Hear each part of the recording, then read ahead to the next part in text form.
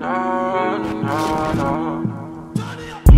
to keep working on me till I got it right, right, right. This whole keep looking at me. Now I got it right, right. What's right. good, everybody? All of a Welcome back to the channel, and today we're here to talk about sneaker investments. You know, we talk a lot about how to cop guide, teach you guys how to touch for retail. What if you miss out on the retail opportunity? You're not able to catch that sneakers beautiful W, the got 'em screen, and instead you do catch that uh, didn't get them. That that crazy didn't get them that they send you like 3,000 emails for the fact that you did not actually get your shoe.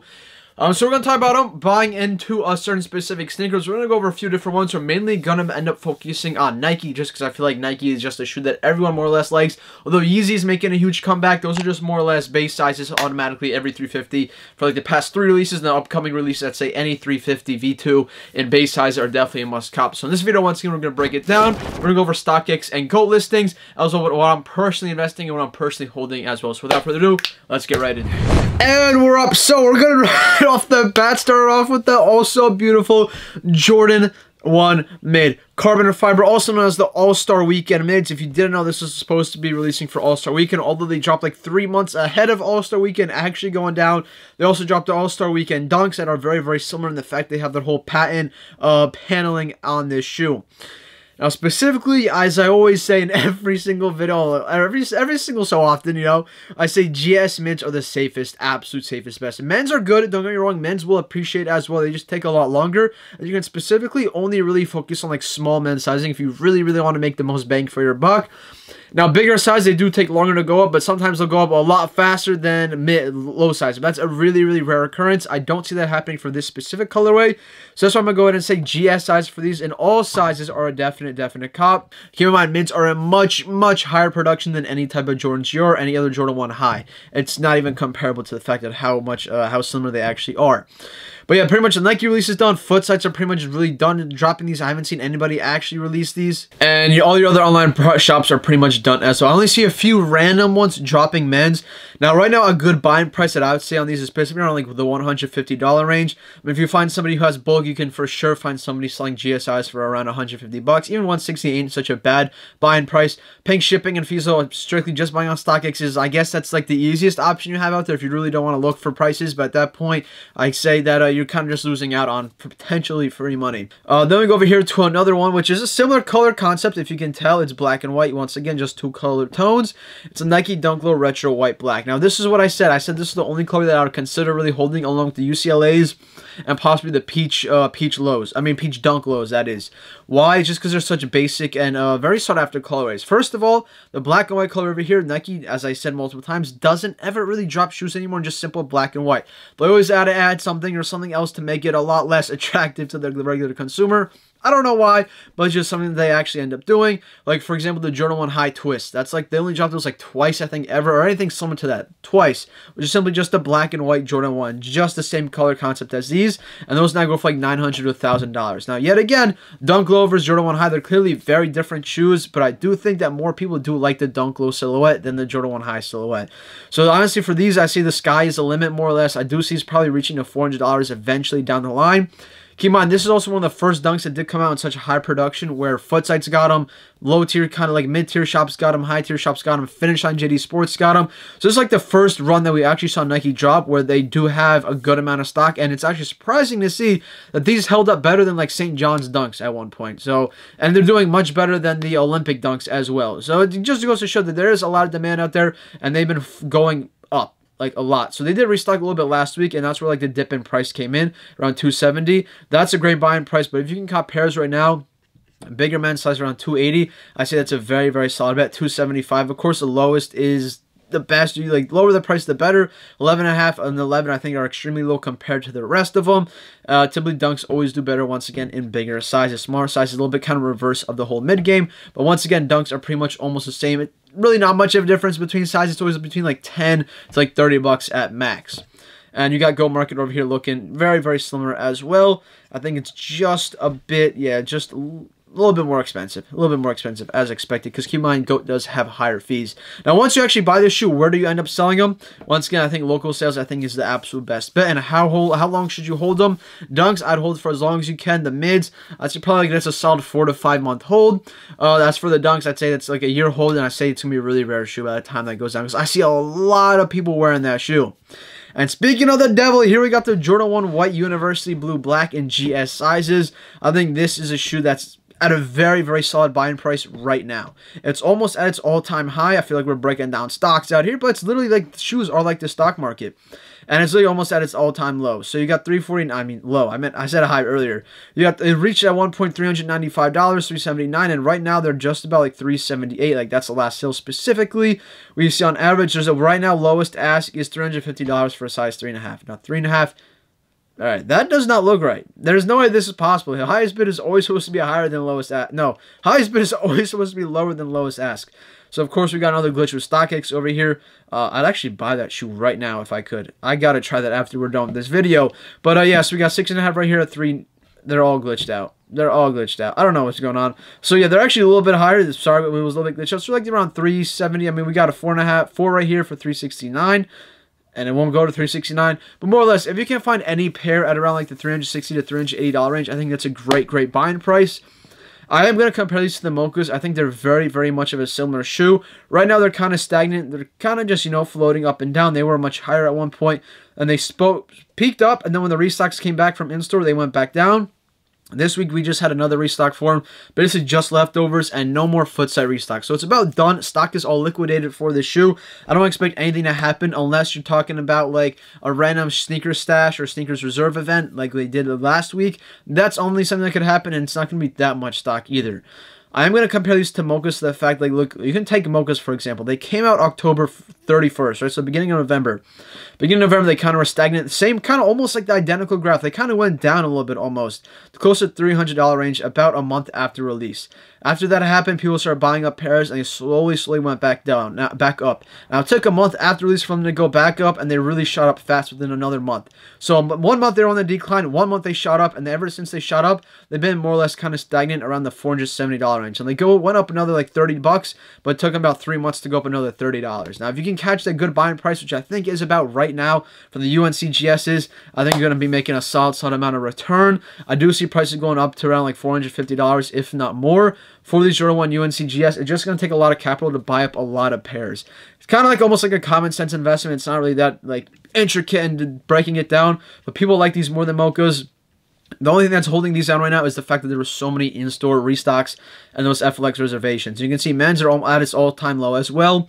And that's why I'm going to go ahead and say these are a very, very great buy. I don't see them dropping below 400 US dollars. I didn't think the restock would affect them this much. I thought they would have dropped down to like 450 after the restock. They dropped a bit more, and that just means it's just a greater buying opportunity. Uh, and yeah, once again, Mochas is very, very similar in the fact that they did follow a similar route. Now, Mochas are not as high in demand, and they're not as in demand. Now, dude, this graph is fuck. And I see probably men's uh, UNC's hitting about $500 in about three months or so. Uh, another shoe we got over here is this Nike Supreme Dunk Low Mean Green. Now, this shoe right over here, I definitely did not expect it to go up this fast. I don't think many people honestly did. Uh, we're going to be talking about our worst, worst sneaker investments tomorrow, so it's kind of like a two-part series, I guess we're doing. And um, now I didn't sell mine. I have mine. If you guys can see in my intro videos, I still have mine. Uh, what I did recommend people to do though, I saw them, you can go back, check the footage. I told people to buy their pairs, sell it either pre-orders around $1,600 or sell it right away, which was not a bad idea. If you sold right away, you sold for like $1,400. And I said rebuy in once the hype kind of dies down. Hype died down a never really. Hype kind of just died down on release day when market was around 750 to $800. And the day after that, and within like two days, three days, market just started going back up. So if you followed that route, I guess you were doing good. But honestly, myself, I did not see these doing that well. I could have bought a bunch of pairs at a thousand dollars which was $200 over StockX. They've released Insider Supreme. Uh, but I don't think it's too late. Listen, the mean green, as I mentioned from the beginning, the get-go, before they even came out, I said green was going to be the most limited, and clearly the proof is in the pudding by the type of uh, resale market it's after. Brown was a second limited, as I said. Now, I think it's honestly too late for both of these. I wouldn't get in. I think it's, you know, they're going to keep going up, but at this point, I just feel like it's very, very risky.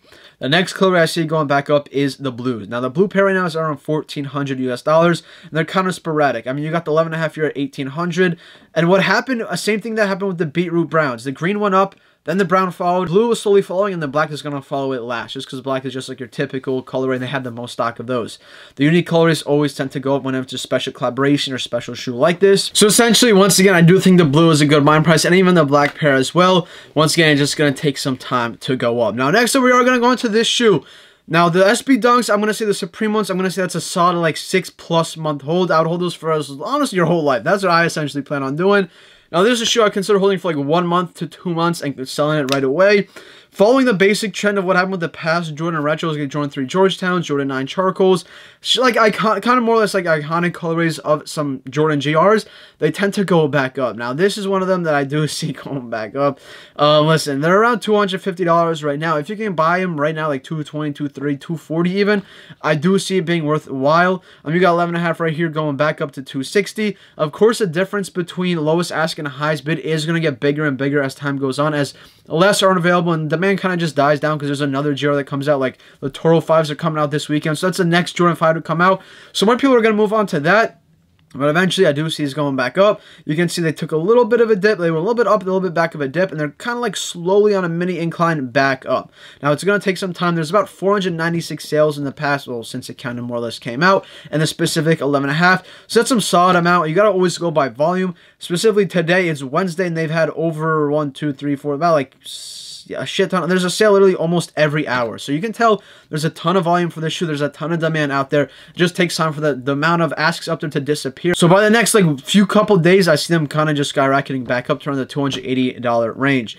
And you can see Go Market over here is just about more or less the same. It's a little bit, um, it's a little bit higher, and StockX tends to follow the go, uh, the trend of Go. So if you want to do like a quick little hold, quick little investment that one to two month, this is your shoe to go for. Uh, then we go into the. This is just some. We're gonna get into some mids right now and lows that just like are kind of like common sense investments, and you should definitely just consider holding or buying up pairs. I would say not so yet, but like a little bit more like a holder sell now. If you catch your hands on a pair by now, I do think it's too late to really sell the Jordan One lows. If you're able to sell for like the 230 240 dollar range, oh, I take that back. Wow, Smaller sizes really held up their value. I personally only have a size 6, 6.5, and a 7. We have nothing under a 6 just yet. I'm not going to buy it pairs anyways for resale just yet either. More and more pairs are going to come out. There really hasn't been a ton of foot site action online, so I'm going to wait for that to happen as more and more resources begin to come in and more and more pairs tend to release. Now, this is also a Jordan low that's not in ton of like stock, but it's in ton of demand. This is one of the craziest Jordan lows as well. It's kind of ugly to me. I'm not a fan of it. I don't know who really is buying these. I haven't seen anybody wear them on the streets at all. But I mean, uh, people are paying for this shoe. I definitely think it's more more or less an overseas market for these. Uh, but it is worth the buy, absolutely. I just would not pay resale for these just just yet. I mean, if you can find pairs for like the 150 to 180 dollar range, which I doubt you're going to, then obviously you must cop. But I do see, giving it some time, and I do see prices going back down. They were a little bit lower, 255, then they just kind of went back up. Keep in mind, sneakers that Nike never dropped these, and eventually they will down the line. And then same thing goes for these mids. Now, mids are not as sought after as the lows. Uh, it's not the right time to buy these mids either. I give it some time. I'd probably see these dropping around the 140 $130 range. If you can cop pairs at that range, like 130 snipe them and take them home with you because I think that's a really, really solid buying price. If you want to complain about, oh, market is not that high near me, da da da, consignment, consignment, consignment. You can always ship your shit to another consignment store and they will take your money and they will take your sales. The stadium goods, flight clubs, stores like that, don't even don't even say if you know you know type of thing. And they're absolutely moving these mids and lows out there. Now this is another Joe low that just came out on sneakers. So like once again, once not sneakers, I keep mixing that up. Nike mids and lows never come out on sneakers. They only come out on Nike app themselves. Now this shoe did drop on Nike app last week, so more or less orders are beginning to come in this week. So I'd say by the end of this week, early next week, around April 10th, April 15th, just around that area, I would definitely consider buying up a few pairs around like the $130, $140 range. This is a very big shoe around the springtime. I really consider holding this shoe for about three to four months yet again. Now, the only Yeezy investment we have in this lineup and the final shoe we're going to get into is these. The Kyanites dropped down way more than I expected, and I guess people just still didn't learn their lesson from the Safflowers. Remember what happened with the Safflowers 700 V3s? Now, Safflowers came out did also sit for a bit longer. They weren't as in demand and didn't sell it as quickly. They were much more of an easier cop, but they did see a much more limited release at the same exact time they shut up crazy. I told people to hold on to Safflowers. A lot of people didn't listen. A lot of people doubted it. I understand. Sometimes I am wrong. Like everyone got mistakes. We're gonna go over those tomorrow. But listen, these right here, I'd say are a very, very solid cop. Base sizes, as long as the bigger men's size, I think they're a very, very solid opportunity. Listen, I drove to New York City, paid tolls, and I basically paid resale for my pair. Because I drove to New York City, paid tax, paid tolls, and all that type of jazz. So I paid more or less resale for mine.